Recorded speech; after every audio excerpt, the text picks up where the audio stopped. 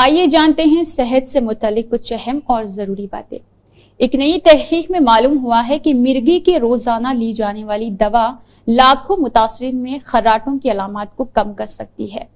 सोते वक्त सांस रुकने और चलने की कैफियत जिसने दुनिया भर में लाखों अफराद मुतासर होते हैं बुलंद आवाज़ में खराटों, सांस फूलने, सांस खींचने और दौरानी नींद फंदा लगाने की आवाज़ से निकलने का सबब बनती है। ये कैफियत बुलंद, फशार, खून ज्याबतीस कलबी मर्ज और फालिज जैसे संजीदा नौयत के सेहत के मसाइल का सबब बन सकती है। यूरोपियन रिस्पॉन्सिटरी सोसाइटी कांग्रेस में पेश की गई तहकीक में बताया गया है कि सिथलमियामी नामे मिर्गी की दवा के इस्तेमाल से तनफुस के मसाइल की अलामत में कमी वाक़ होती है।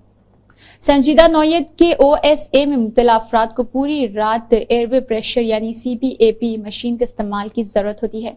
तहकीक पेश करने वाले स्वीडन की यूनिवर्सिटी ऑफ़ गौथम की प्रोफेसर जैन हैंडस का कहना है कि ये इलाज तवील मुद्दत तक इस्तेमाल करना मुश्किल होता है।